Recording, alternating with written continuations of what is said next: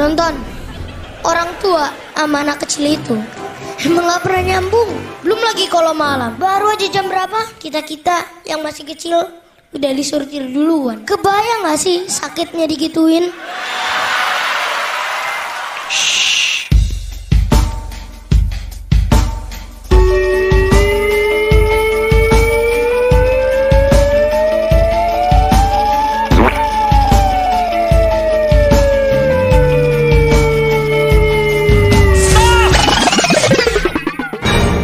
Baik, selamat pagi anak-anak. Pagi.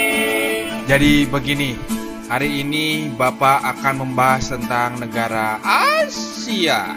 Siapa yang tidak tahu Asia? Coba jangan ngacu. Itu yang di belakang kenapa? Punya penyakit atau apa? Adik-adik yang lucu, imut-imut, dan pitenggelen. Cung, siapa sekarang yang nggak tahu Asia? Saya Pak. Oh, Saya nggak tahu Asia nih Pak. Apa? Kamu nggak tahu Asia? Oke, Bapak akan ke situ. Tapi sebentar, Bapak mau berubah dulu. Dalam waktu tiga bulan. One, two, three, four.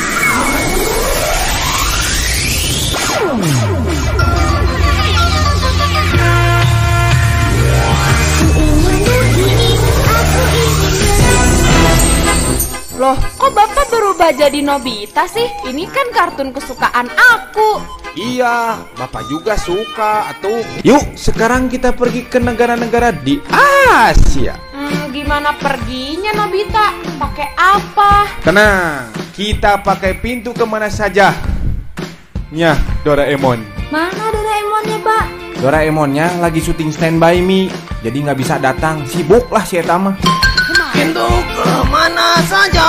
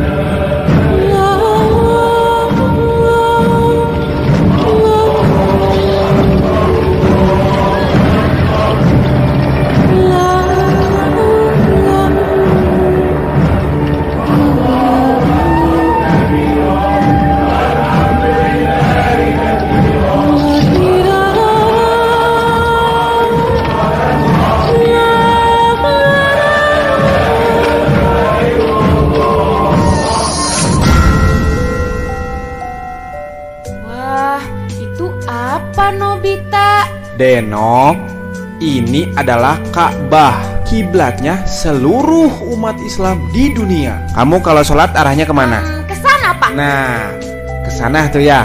Tujuannya pasti ke sini. Ka'bah juga mempunyai kelebihan gravitasi yang stabil. Bahkan Neil Armstrong telah membuktikan bahwa Ka'bah di kota Mekah adalah pusat planet bumi. Uh, luar biasa. Ini pasti di Eropa ya? Bukan Denok, ini adanya di Asia. Yuk, kita lanjut.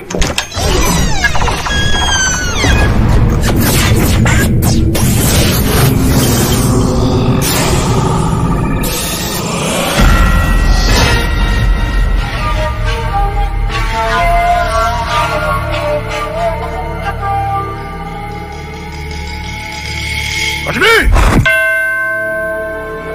やってんだお前らは。指名以外でカナの海は誰ほど言われたろ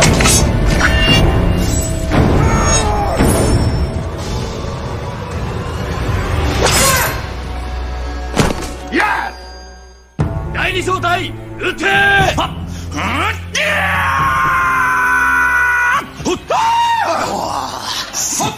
っ！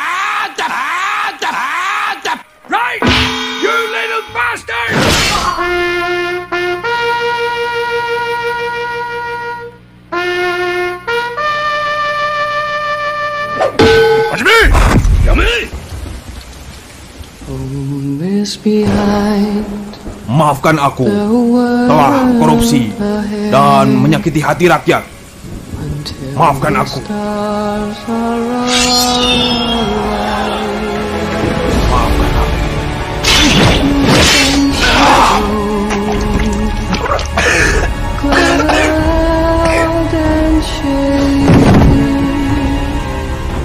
Nah, itu namanya harakiri. Harakiri adalah salah satu kebudayaan Jepang, yaitu bunuh diri yang dilakukan untuk menjaga keselamatan keluarga. Wah, serem juga ya. Ya, kalau di kita malah seperti di upacara lah. Harakiri, gerak. Itu ada kiri Nobita. Bodoh. Wanian Kak Pelatih. Yuk.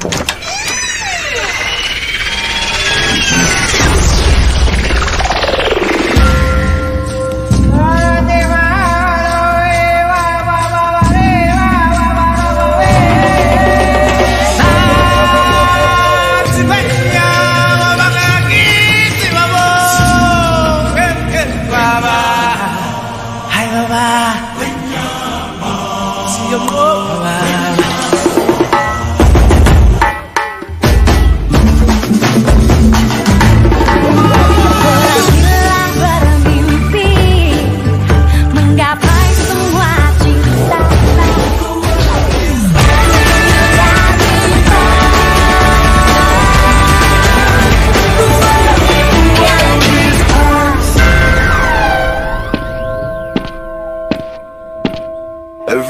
I'm shuffling.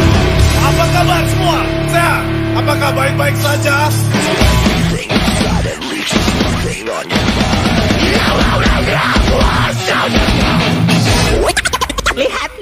Los señoritos they sing and they swing with their bombero.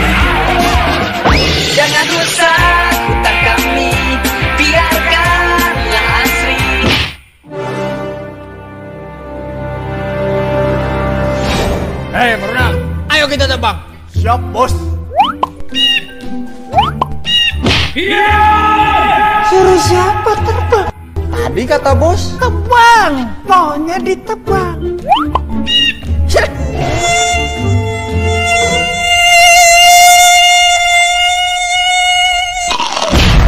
malam. Ikan bobo. Heh, sahangaran. Asep pulpen?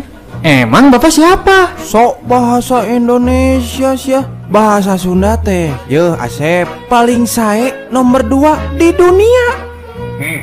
Baheula tukang mau pulpen di SD alias sekolah dadang sianya Allahu Akbar. Allahu Akbar. Astagfirullahaladzim. Gelap bapak. Heh, jadi alumni sekolah dadang teh kalakah penebang pohon ngarusak eta teh Asep Tol ngarusak alam nu di Kalimantan. Yeuh, eta teh paru-paru dunia. Kudu bangga. Balik. Assalamualaikum.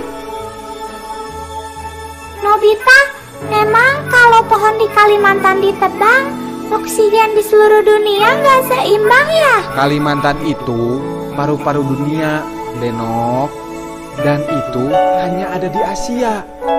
Jadi mari kita jaga paru-paru dunia ini bersama-sama Itulah Asia mempunyai banyak kelebihan. Dari mulai Ka'bah di Mekah, Harakiri di Jepang Dan paru-paru dunia di Kalimantan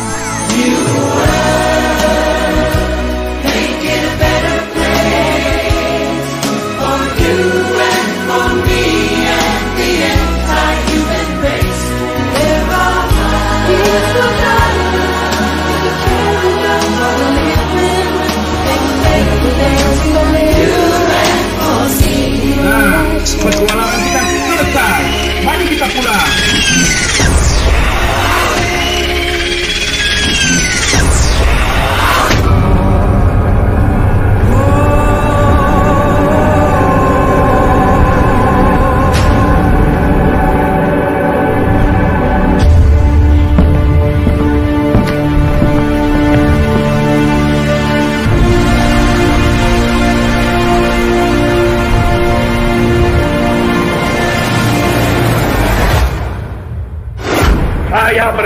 di sini sebagai presiden pemimpin besar revolusi Indonesia.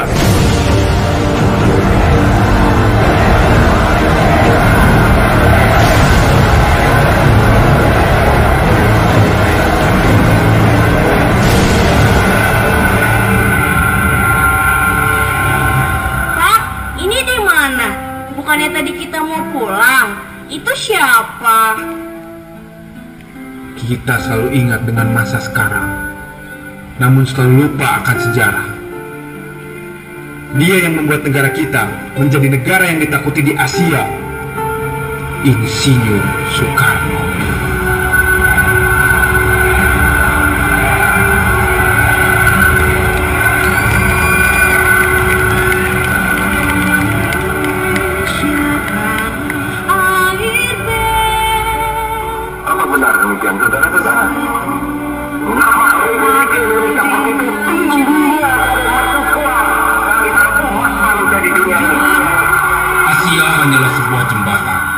Jembatan emas, di seberang jembatan itu jalan pecah dua. Satu ke dunia sama rata sama rasa, dan yang satu ke dunia sama ratap dan sama tangis.